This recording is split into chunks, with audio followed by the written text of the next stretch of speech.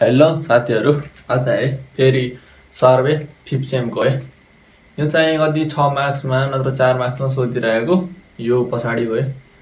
यो vertical vertical curve by equation of the parabola यो vertical कर च्याप्टरको एउटा भनौँ न एउटा थ्योरी पार्ट भनौँ। एउटा सिम्पल डेरिभेसन छ।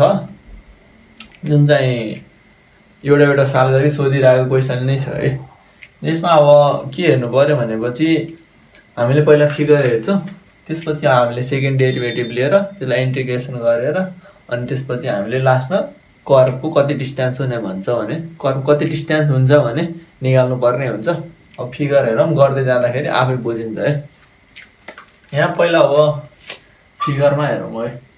एउटा एक्सिस भयो जस्तै एउटा वाइ एक्सिस भयो अनि यो चाहिँ एक्स एक्सिस भयो है। यो चाहिँ वाइ अनि यो एक्स भयो। अनि यहाँ पोइन्टबाट के गरेँ मैले एउटा जस्तै यो ट्यान्जेन्ट अनि यो एउटा भयो ट्यान्जेन्ट अनि अब अब यहाँबाट त कर बन्यो यसरी है यसरी कर बन्यो। यहाँबाट एउटा सिधा लाइन गयो। अनि यहाँबाट के गर्ने एउटा सिधा लाइन तल झार्ने है एउटा पोइन्ट यहाँ एउटा पोइन्ट अनि अर्को चाहिँ यहाँ एउटा लाइन बनाउने। हामी ट्राइङ्गल बनाउनु पऱ्यो नि। अनि ट्राइङ्गलको यो डिस्टेन्सले मैले वाइ लेट गरेँ। अनि यो हाम्रो कति छ? जी वान पर्सेन्टेज छ है। यहाँदेखि यहाँ यो पोजिटिभ यो चाहिँ होइन जी टू पर्सेन्टेज छ है। अनि यसलाई चाहिँ यसरी अगाडि बढाइ बढाइएछ। अनि त्यसपछि यहाँ तल झारेर अनि यो एङ्गल चाहिँ जी वान एङ्गल होइन है। G one plus G one minus G two by hundred red भनेर यो हुन्छ। अनि त्यसपछि यसलाई के नाम हालिदियो? जस्तै ए हाल्दै यहाँ बी हाल्दै यो सी भयो अनि यो डी भयो यो ई भयो एफ भयो यो जी भयो यो एच भयो यसरी नाम हालिने अनि त्यसपछि के अब अलिकति भाषा पनि लेख्थ्यो AB is a vertical C U R B curve with distance as which distance is कति मैले एल हुन्छ। एल हुन्छ है। अनि त्यसपछि अब के गर्ने अब यसको स्लोप छ नि जुन जुन पाराबोलीको स्लोप छ रेट अफ स्लोप छ नि त्यो चाहिँ हाम्रो के हुन्छ कन्सटेन्ट हुन्छ। सबैमा एउटै रेट अफ स्लोपमा माथि गइरहेको हुन्छ है। यसरी गयो एउटै स्लोपमा गएर। हुन्छ त्यसलाई पनि लेखिदिउँ। The rate of S L O P slope of parabola is constant ए। अनि कन्सट्यान्ट भएर एउटा स्लोप गइरहेको छ अनि के छ? अब the S E C O N D second derivative A. Derivatives of the second derivative dx with um, second derivative x and y respect a. R e s p e रेस्पेक्टमा के भयो it's एससिओएनडी second derivatives है second derivative second derivative केलाई भन्छ भनेपछि जस्तै यो डिएक्स स्क्वायर वाइ है अनि डिएक्स स्क्वायर छ। यसलाई चाहिँ हामीले के? सेकेन्ड डेरिभेटिभ भन्ने गर्छ। यो हाम्रो चाहिँ कन्सट्यान्ट छ यहाँ भनिन्छ। रेट अफ चेन्ज यसको अब एउटा कुरा अझै बुझ्नु है। जस्तै हामीले डिवाइवाई डिएक्स लेख्छ नि। यो के हुन्छ भने हाम्रो चेन्ज रेट अफ चेन्ज भनेको चाहे change in C H N G change in Y है अनि सिएचएनजी चेन्ज इन एक्स हुन्छ है। ग्रेडियन्ट पनि हाम्रो अब के गर्यो? यहाँ अब ग्रेडियन्ट चेन्ज भनेर भनिन्छ नि the rate of the slope है। स्लोप चेन्ज भयो भने ग्रेडियन्ट नै मानिन्छ। स्लोप ग्रेडियन्ट अनि यो change in y and change in derivative है। अगाडि जाँदै जाउँ त्यसपछि पक्कै एकदम राम्रो तरिकाले बुझ्छ। सिधै के सोच्ने सेकेन्ड डेरिभेटिभ जसको हाम्रो ds ds square y by dx square equal to r है कन्सट्यान्ट है सिओएनएस टिएनटी कन्सट्यान्ट है अनि त्यसपछि अब अगाडि अब यहाँ त्यसपछि अब यसलाई के गर्ने? यसलाई एन्टी डेरिभेटिभ गर्ने। है डेरिभेटिभ त्यसपछि यसलाई एन्टी डेरिभेटिभ लेख्नु गर्नु अनि त्यसपछि यहाँ है मैले एन्टी डेरिभेटिभ यसलाई गऱ्यो भने के हुन्छ यो? डिवाई बाई डिएक्स हुन्छ। अनि आरको एन्टी डेरिभेटिभ गर्दाखेरि के भयो? आरको एन्टी डेरिभेटिभ गर्दाखेरि के हुन्छ भनेपछि आर एक्स अनि कन्सट्यान्ट हालिदिनु पऱ्यो एउटा प्लस एच है अब यसलाई मैले इक्वेसन फर्स्ट मान्दिनँ अनि यसलाई इक्वेसन सेकेन्ड मान्दिनँ। अनि त्यसपछि अब के गर्ने? When x equal to zero राख्दाखेरि हाम्रो के हुन्छ? Gradient g one equal to के भयो? अब एक्स यहाँ जिरो हालिदिनु हो त।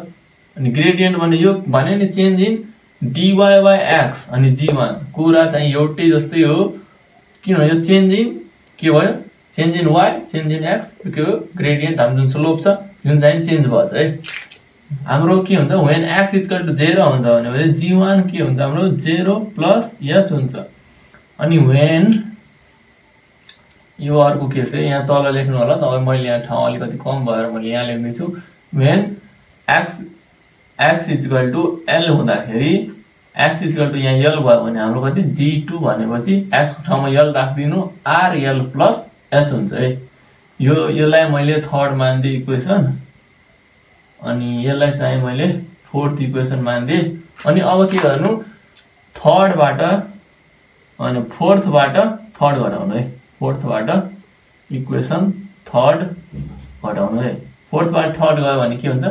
G two minus g one equal to अब जी टूबाट जी टू यतिबाट यो घटाउनु पऱ्यो भनेपछि RL minus h RL minus h अनि minus h RL minus RL plus है जी टू हाम्रो गर्छ आरएल प्लस एच अनि माइनस यो माइनस अनि जी वान कति छ जिरो प्लस एच है अनि यो माइनस हालेपछि यो माइनस एच भयो है। अब अब के गर्ने? यो एच त अड भयो। यति काम खतम भइसक्यो। अब के गर्ने? हामीले अब आर इजकल टु निकाल्ने यहाँबाट त यहाँ आर राख्यो अनि यल यहाँ तल आयो। अनि आर इजकल टु के भयो? G two minus g one by l भयो है। अब यो हाम्रो इक्वेसन यसलाई फाइभ मानिदिउँ।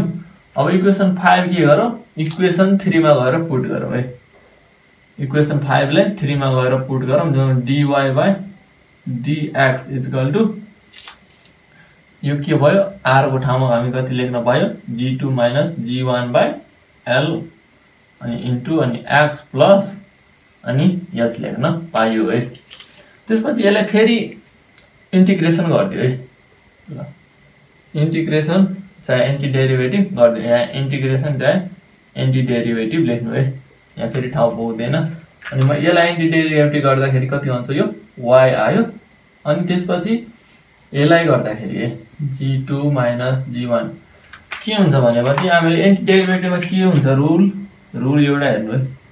यो कन्सट्यान्ट अनि एक्स छ अनि डिएक्सको रिस्पेक्टमा जब हामीले गर्दैछौँ नि एन्टी डेरिभेटिभ त्यो बेला के हुन्छ भनेपछि कन्सट्यान्ट हुन्छ नि त्यो बाहिर आउँछ है जस्तै के बाहिर आयो। अनि एन्टी डेरिभेटिभ हुन्छ अनि एक्स अनि डिएक्स अनि यतिको के हुन्छ एन्टी डेरिभेटिभको हाम्रो फर्मुला हेर्दाखेरि एन्टी डेरिभ एक्स एक्स है एक्स डिएक्सको फर्मुला हेर्दाखेरि एन्टी डेरिभेटिभ के हुन्छ एक्स अनि n plus one divide by यो माथिको छ नि यो तल आउँछ एन प्लस भने यो चाहिँ मेन फर्मुला हुन्छ एन्टी डेरिभेटिभको त्यही हाम्रो अब यहाँ रुल आउँछ है। अब के भयो? अब तल हेर्नु है। यो फर्मुला थाहा भइ पाइ पाइसक्नु भयो होला सेम लगाउने हो है। अनि कन्सट्यान्ट अनि एक्स है। अनि एक्सको पावर हाम्रो कति छ? के भएन भने वान भयो। अनि एक्स अनि पावर वान अनि प्लस वान यो चाहिँ यो वान यहाँको भयो अनि प्लस वान चाहिँ फर्मुलाको अनि डिभाइड बाई यो दुइटाले जोडेर कति हुन्छ? टू हुन्छ। यो पावरमा जति छ त्यसले डिभाइड गर्ने। भनेपछि यो कति भयो? के एक्स पावरमा टू बाई टू ए हो के कन्सट्यान्ट कति छ यहाँ हाम्रो g two minus g one by l छ है अनि यो एक्सको कति आएको छ एक्सको एन्टी डेरिभेट कति आयो? X square x square by two आयो है एक्सको चाहिँ एक्स स्क्वायर बाई टू आयो। अनि त्यसपछि यो प्लस अनि अर्को एन्ट्री यहाँ अब एक्स अनि एक्स हुन्छ। अब यो एक्स भन्नु कसरी आयो? अब चाहिँ यसलाई पनि एन्टी डेरिभेटिभ को यस्तो? एन्टी डेरिभेटिभ डिएक्सको गर्दाखेरि हाम्रो डिएक्सको रिस्पेक्टमा गर्दैछौँ। भनेपछि केही छैन भने हाम्रो के हुन्छ? एक्स हुन जान्छ है केही छैन डिएक्सको एक्स हुन्छ है त्यसरी नै यहाँ हामीले डिएक्सको रिस्पेक्टमा यसलाई गऱ्यो एन्टी डेरिभेटिभ भने एन्टी डेरिभेटिभ गऱ्यो भने एच कन्सटेन्ट छ त्यो बाहिर आयो अनि डिएक्सको एक्स आयो है यसरी चाहिँ हाम्रो यहाँ के भन्छ भनेपछि एक्स भयो अनि प्लस सिएन सी वान चाहे सी हालिदियो यो कन्सट्यान्ट हालिदियो यसरी चाहिँ हाम्रो त्यो vertical curve by equation of the parabola भनेर सोधिरहेको छ चार पाँचजना यसरी सम समाप्त हुन्छ यसैलाई यहाँ लेखिदिनु vertical this this require the required equation लेख्नु चाहे दिस इज द भर्टिकल कर इक्वेसन है नत्र vertical curve by equation of the parabola जे लेख्दा पनि भयो अनि अरू यहीँसम्म छ अनि थ्याङ्क यू फर वाचिङ है